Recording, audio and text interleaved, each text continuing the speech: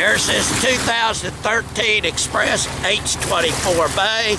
We're gonna make another swing by here. I want you to see this thing. Got a 250 SHO on it.